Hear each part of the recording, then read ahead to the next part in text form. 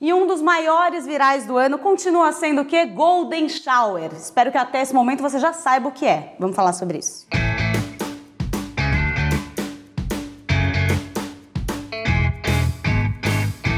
Bom, Golden Shower continua estampando todas as redes, não é mesmo? Principalmente um programa ganhou destaque como viral, que é o Isso a Globo não mostra. Não sei se você viu, você viu? Então, eu, obviamente eu vi e, e aqui mostra uma coisa interessante sobre, sobre o jornalismo viral. Como um assunto que aparentemente seria pequeno consegue encadear não só o Brasil, consegue encadear no mundo inteiro.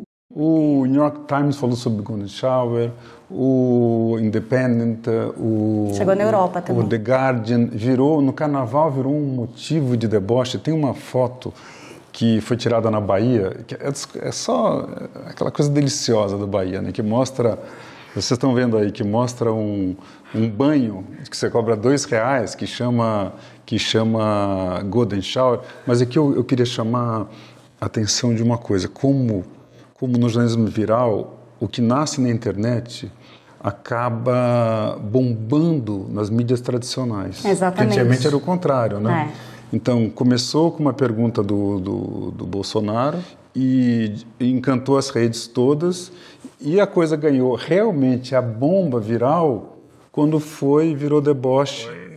Entrou no programa do Serginho É, Grossman. aí cortou. Cortou e depois entrou no domingo no Fantástico. Ou seja, o presidente nunca mais vai se separar dessa palavra Golden Shower por conta da questão da viralização das informações das redes sociais. Acho que agora ele aprendeu, né? Então, não sei. sei.